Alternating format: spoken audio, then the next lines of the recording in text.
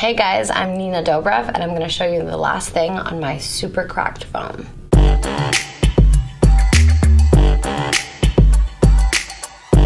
My last text message was from my makeup artist. He told me, Nina, please say penis as loud as you can. Penis. That's for you, Adam. You jerk. The nerd face emoji, the slapping myself on the face emoji, and the I don't know. This is just me. The last thing I Googled was my friend skydiving.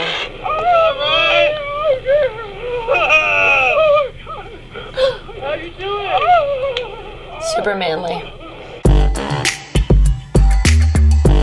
Well, it was taken of me, of me and a baby lion. In Toronto, I met the owner of a zoo, and before they bring the little babies into the zoo, they want to get them acclimated to humans, so they hang out with a bunch of people, and so we got to go meet up with the little babes. During my last Lyft ride, I got into a car accident with the driver. Not with the driver, I was in the car, but the driver got into a car accident. It wasn't his fault. It's all good. Everyone was fine. But it was a little dramatic, and I was definitely very late.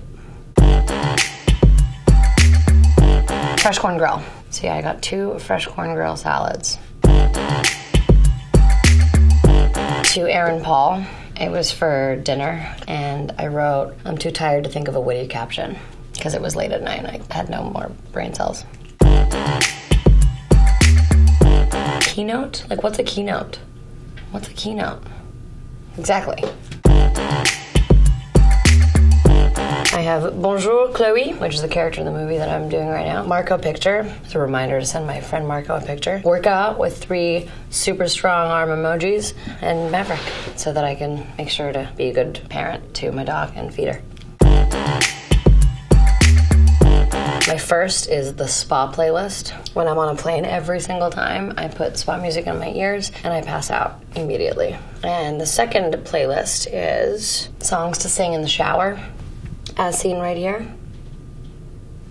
And it's all oldies like Stand By Me, I Wanna Dance with Somebody, Don't Stop Believing, I'm Gonna Be 500 Miles, Footloose, all kinds of goodies like that. I have a running list of movie ideas and things that like pop up into my brain, and I'm planning on making them into shorts or movies or TV shows or anything else. But I always have to write it down, otherwise I'll forget immediately. Last selfie I took was this morning as I was getting ready for work in the car. And those are the last things that I did on my phone.